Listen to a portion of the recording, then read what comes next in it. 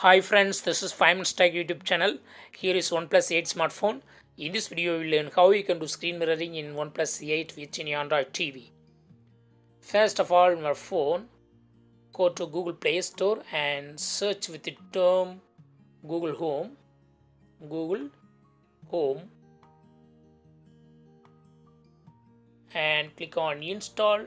Install this app and after installing, open this app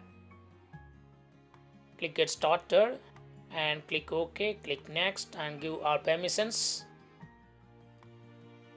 Now you will receive signal if your phone and tv is connected to a common wi-fi. Yes yes received now.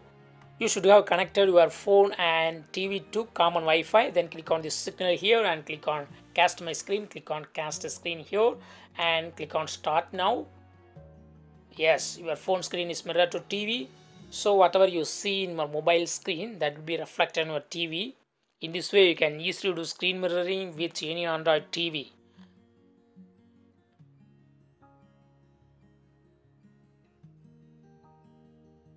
See there what I see in my mobile screen that are also showing in my TV. That's all friends. Thanks for watching. Bye.